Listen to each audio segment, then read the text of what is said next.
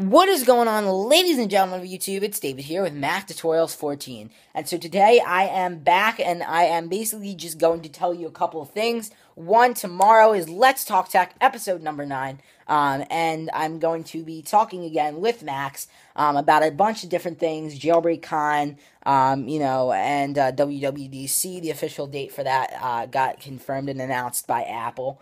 Um, so that's pretty awesome.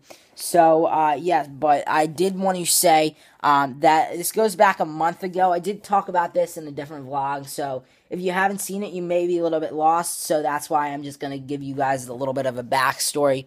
So, basically, about a month ago, WinOCM um, a, a, a, infamous jailbreak developer named WinOCM that is actually uh, infamous for developing, um, along with iH8sn0w, the popular jailbreak for iOS 6.1.3, 6.1.4, 6.1.5, and 6.1.6, um, which would be p0sixspwn. So um, basically, WinOCM uh, basically cre- created this um, utility um, where you needed you needed to be really code savvy in order to use this thing. I mean, it it, it was just uh, there was so many bugs and stuff, and um, you know, he basically he basically tweeted out to everyone, "Listen, I'm I'm gonna release this soon. Um, but if you try to use this, I want to let you know um, that you know if anything screws up, your i your uh, iDevice is basically crap. The warranty is gone. You know, this definitely breaks the warranty. So I'm just warning everyone, this is not 100% stable. So if you don't know what you're doing, you probably shouldn't do it. And that's basically what he told everyone.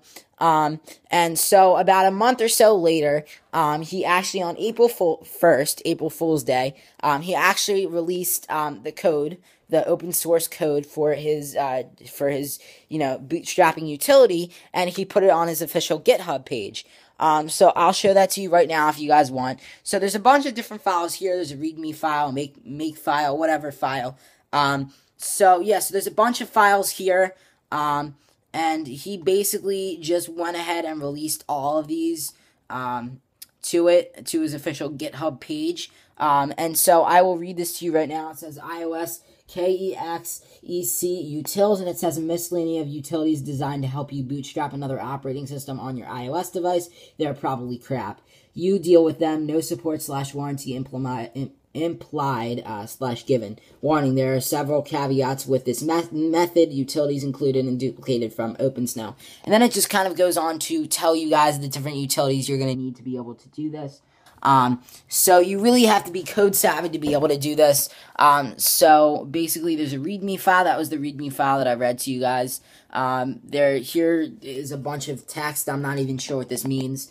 Uh, so I'm gonna go ahead and link this website in the description below. It's, it's gonna be WinOCM's GitHub, um, and basically this is uh, this is um, you know it's especially um, the part in his GitHub where it shows you how to bootstrap. Um, so I kind of just want to see. Um, I might do a tutorial for it. Um, you know, if it gets a, a bit simpler, if people understand and they comment back to me and say, "Here's what you got to do."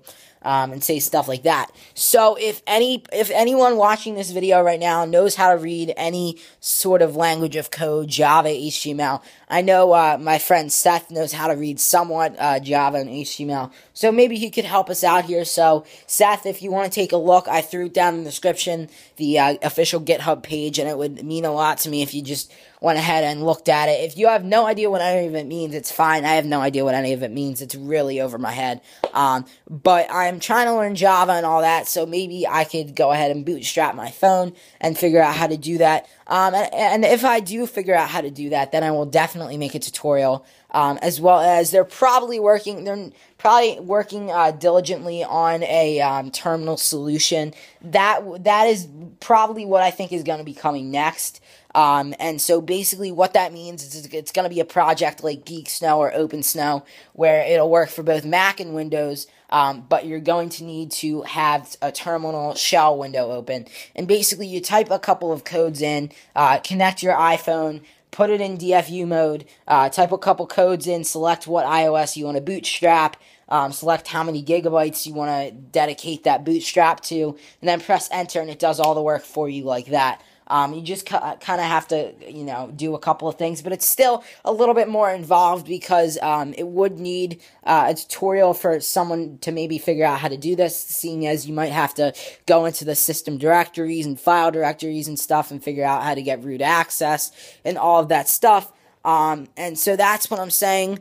Um, so I, uh, you know, a one click uh, thing like, you know, a jailbreak tool, evasi0n7, whatever, that's probably, if they're working on that, that's probably not going to be um, released for a really long time, but at least we know that probably a terminal version of that will be released sometime in the next couple of months, uh, hopefully. So, um, yeah, so I basically, I'm going to put the link in the description where you guys can just go and uh, look at WinOCM's uh, bootstrapping utility, uh, open source code. Like I said, this is not um, final. He just pushed it out to the public, and he said he basically warned everyone. He said, "Look, this isn't stable. I realize, you know, this is all a bunch of code, and if you bootstrap your phone successfully and then something goes wrong, um, then your phone's pretty much crap and you can't do anything about it, is basically what he said.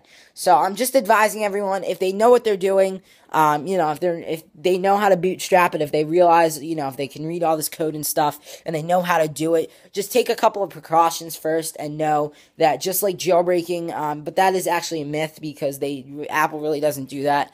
Um, but they'd be more likely to do it if your phone was messed up and it was all because of this bootstrap utility that WinOCM made. Um, you cannot pull anything on WinOCM since it simply isn't his fault because he did give everyone a warning that he said it isn't stable, it isn't public, or well, it is public. The the code, the source code is public, but you know, not a, a lot of this stuff is uh, you know stable. So he's trying to uh, you know get people to basically know that it's not hundred percent stable and it's not really going to work that that good. Um, so I haven't seen anyone that has officially bootstrapped their uh, device. Uh, I will go ahead and look that up for you just to see. Um, so dual boot on iOS. Just go look up seven. Um, so yeah, so it says uh, WinOCM releases tools to do to do boot iOS five, iOS six, and iOS seven. Um, but it does not say it doesn't say uh, it's not really clear on how to do it. Um, and I would imagine um, it's a very tedious process, um, and it just altogether would take a really long time. Um, so yeah, uh, see here. So it says how to install iOS 7 on Galaxy. Yeah, well this this has nothing to do with anything, but I kind of just wanted to see what that meant. Anyway, uh, so um I really wish I could tell you guys. Um, if anyone knows how to do it, how to do this, definitely leave me a comment.